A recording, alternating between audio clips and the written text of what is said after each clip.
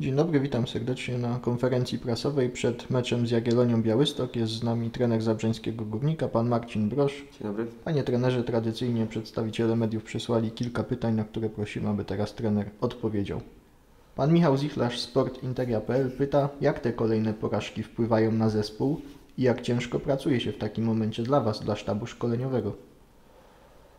Na pewno yy, nie są to łatwe momenty, jeżeli nie potrafimy wygrać każdego kolejnego meczu. Natomiast yy, w sporcie tak jest, że nie zawsze się wygrywa i tak naprawdę to, yy, co jest teraz dla nas naj- najważniejsze, to jest zadaniowość, czyli żeby powierzać zadania, jakie chcemy wykonywać i nad tym się koncentrować i koncentracja nad yy, najbliższym meczem, który będzie tutaj rozegrany w naszym stadionie. Jak w takim momencie mobilizować drużynę?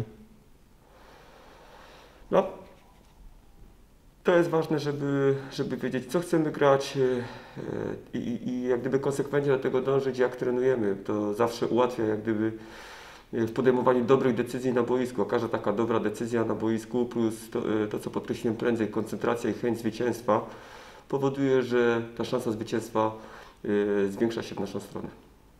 Jaki będzie pomysł na Jagiellonię?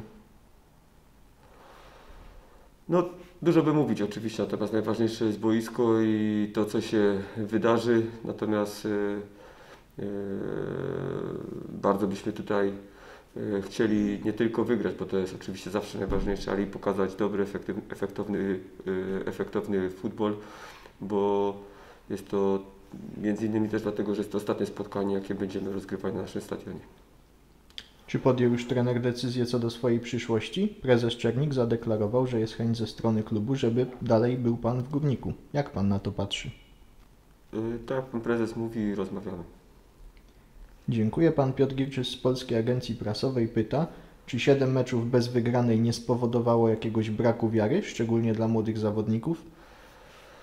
No zawsze w sporcie, w sporcie e, są momenty niełatwe i w takim momencie jesteśmy, natomiast to też jest ta- taki element, taki moment, e, w którym e, zespół wykreowuje nowych liderów. I kluczem jest w tym, w tym wszystkim w takich momentach, żeby zawodnicy starsi, bardziej doświadczeni, którzy już to niejednokrotnie przechodzili, jak również i my, sztab szkoleniowy, który również ma to doświadczenie, nawzajem się wspierać i yy,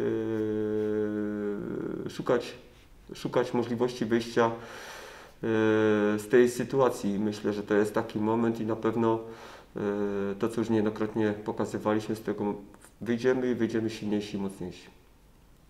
Na co trener zwraca teraz uwagę podczas treningów, kiedy do końca sezonu zostały dwie kolejki? Na to samo, co jak zaczynamy sezon, czy jak jesteśmy w trakcie sezonu. Robimy wszystko, żeby w danym meczu, czy jest to mecz ligowy, czy mecz e, sparingowy, być zawsze jak najlepiej przygotowani do danego spotkania, wiedzieć jak chcemy grać, nad tym się koncentrować i to jest dla nas najważniejsze i tutaj cały nasz, nasz pomysł na, na, na, na to, co robimy jest niezmienny. Czy to jest najtrudniejszy moment pracy trenera w górniku? No 5 lat już tutaj pracujemy, więc tych różne były, różne były momenty i czy najtrudniejszy e, czas pokaże. Natomiast e, jestem pewny, że tak jak powiedziałem, tutaj podkreślałem, prędzej wyjdziemy z tego silniejsi, mocniejsi to jest dla nas najważniejsze. Jagiellonia też ma ostatnio problem z wygrywaniem. Czy zdaniem trenera to może zapowiadać otwartą grę o trzy punkty z obu stron?